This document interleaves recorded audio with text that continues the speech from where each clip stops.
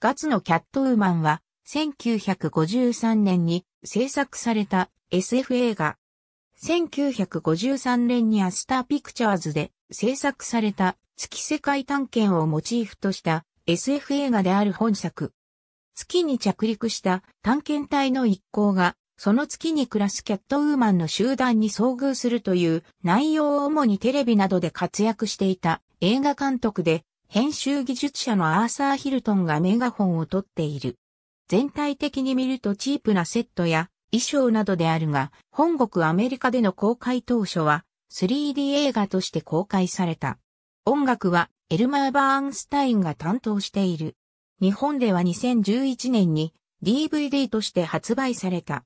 公開から5年後の1958年には、ガツへのミサイルというタイトルでリメイクも制作されている。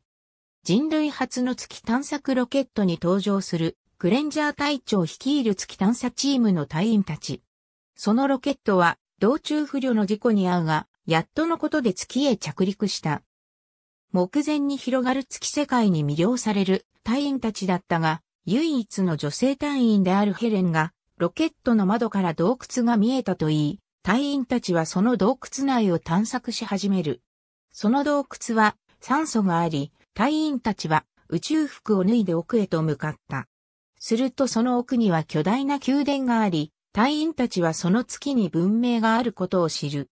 さらに調査を進めると、彼らの前に黒タイツに身を包んだキャットウーマンさながらの女性たちが現れる。アルファを筆頭とするその女性らはその星の住人であることと、かつて男性が存在していたが、今は絶滅して女性しかいないことを隊員たちに告げる。そして、品格待遇で探査チームの隊員たちを出迎えるのだが、キャットウーマンたちには彼らのロケットを盗んで地球を征服するという目論みがあった。ありがとうございます。